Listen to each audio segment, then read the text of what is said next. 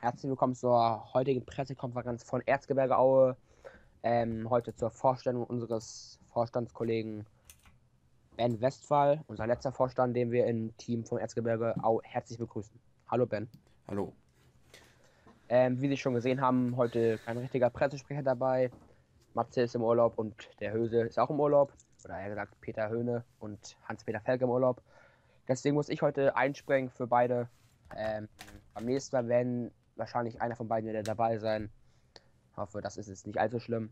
Ich stelle heute ähm, meinen Vorstandskollegen Ben Westphal vor.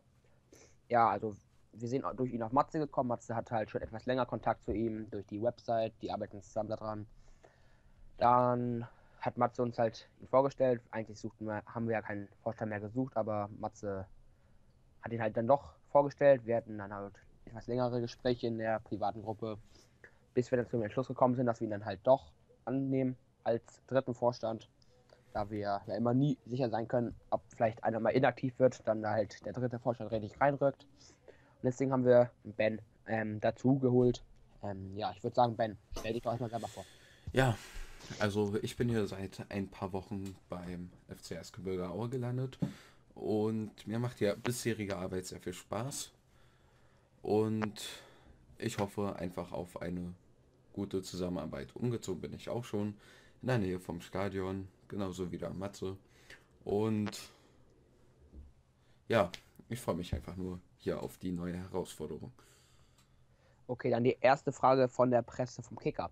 Wurden Sie auch mit anderen Vereinen in Verbindung gebracht, Herr Westphal? Nein, ich kam hier, ich habe halt auf der Website mit Matze zusammengearbeitet und da habe ich einfach mal angefragt, ob bei Aue noch was frei ist und es war was frei. Und ich bin einfach hierher gekommen, ohne in Kontakt zu anderen Vereinen. Und warum haben Sie ausgerechnet Aue genommen? Es gab halt noch bestimmt andere Vereine, die jetzt halt kein Interesse haben, aber warum haben Sie nach Aue gefragt? Was unterscheidet diesen Verein zu anderen Vereinen in der zweiten Bundesliga? Ja, also zum einen kannte ich hier schon Leute und zum anderen Aue, gerade erst frisch aufgestiegen, vor zwei Jahren, nee, vor einem Jahr, der unglückliche Abstieg. Und ich wäre einfach eine Herausforderung und ich denke, dass wir die auch gut meistern können. Unser Saisonziel ist der Klassenerhalt und wir haben einen guten Trainer, wir haben zwei andere gute Vorstände und ich freue mich einfach nur auf die neue Herausforderung und auf die neue Saison. Dann die nächste Frage ähm, vom Aue TV. Was kannst du zum Verein und der Stadt Aue sagen? Ja, also ich habe mir heute schon ein bisschen die Stadt angeguckt. Ich war in der Kirche und auch in der Altstadt. ist alles sehr schön hier. Und wie gesagt, ich wohne in der Nähe vom Stadion, in einem Wohngebiet. Und die Luft ist auch schön hier. Halt das schöne Erzgebirge. Und ja, zum Verein, frisch aufgestiegen, habe ich ja eigentlich schon erwähnt, der bittere Abstieg und aber dann der sofortige Wiederaufstieg.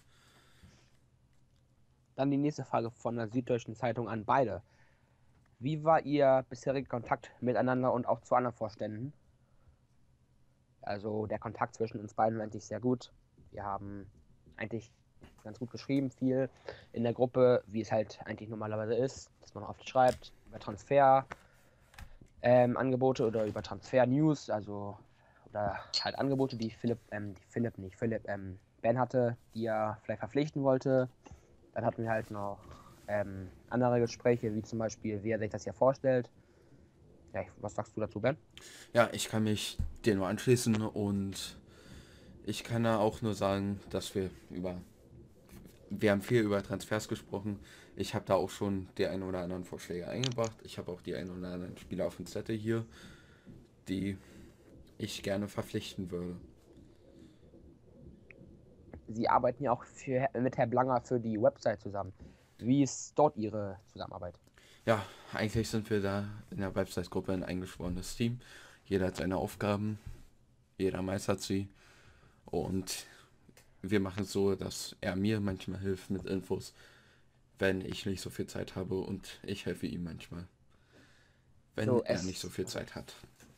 Es wurde bekannt gegeben, dass Aue ähm, in der Quali spielen muss, um am DFB-Pokal teilzunehmen.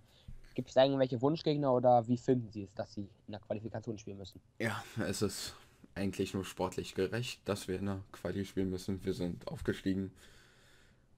Insgesamt sind es 36 Mannschaften, 32 werden in der ersten Runde spielen. Deswegen muss es ja eine Qualifikation geben und ich würde ganz gerne in der ersten Quali-Runde die Löwe aus München raushauen. Einfach. Ja, ich sag dazu einfach nichts mehr. Ich mecker, fange lieber nicht an, über diesen Verein zu meckern und zu reden. Sie sagten vorhin ja schon, Klassenhalt ist Ihr Ziel. Gibt es da irgendwie was, was konkreter? Also ob es da irgendwie einen Platzierungswunsch gibt? Also zum Beispiel Platz zwischen 10 und 9 oder ist einfach nur der Klassenhalt Ihr Ziel? Ja, also eigentlich ist es Hauptziel, dass drei Mannschaften unter uns sind. Der Rest ist mir, um es auf gut Deutsch zu sagen, einfach egal. Vielleicht spielen wir oben mit, vielleicht müssen wir uns am letzten Spieltag retten, aber der Klassenverhalt ist unser Ziel. Ich kann halt die zweite Liga noch nicht so richtig einschätzen. Die ganzen neuen Trainer, neue Spieler werden kommen. Und es wird eine spannende Saison, das kann ich Ihnen schon mal versprechen. Was denken Sie, wie werden die Absteiger ähm, abschneiden in der nächsten Saison? Ja, also ich denke, Hannover wird aufsteigen und die anderen beiden Absteiger werden keine große Rolle spielen. Vielleicht wird der eine, vielleicht wird der eine noch mal durchgereicht, aber ich denke, dass Frankfurt sowohl als auch Ingolstadt den Klassenerhalt schaffen werden. Okay, dann am 23.07. wird der Spielplan der YouTube-Bundesliga veröffentlicht. Gibt es da irgendwie Wunschgegner, die Sie am Anfang gerne haben würden oder am Anfang gerne vermeiden würden? Ja, eigentlich. Wir müssen eh gegen alle spielen, also es ist ziemlich egal. Ein Heimspiel wäre schön und vielleicht ein Derby gegen Dynamo Dresden, aber es ist sehr unwahrscheinlich, weil beide Mannschaften aufgestiegen sind. Es ist sehr unwahrscheinlich, dass wir dann auf die am ersten Spieltag treffen werden. Von daher ist es mir eigentlich vollkommen egal. Ja, ich sehe jetzt hier auch keine weiteren Fragen mehr. Ich würde sagen, das war's von der Pressekonferenz. Wenn es noch Fragen gibt, dann schreibt die bitte in die Kommentare dieses Videos. Dann kommen später nochmal irgendwann neue Konferenzen, also Pressekonferenzen, mit vielleicht allen vier Mitgliedern, mit dem Trainer, mit den drei Vorständen. Das war's heute zur Vorstellung von unserem letzten Vorstand Ben Westphal. Das war's. Ciao. Ciao auch von mir.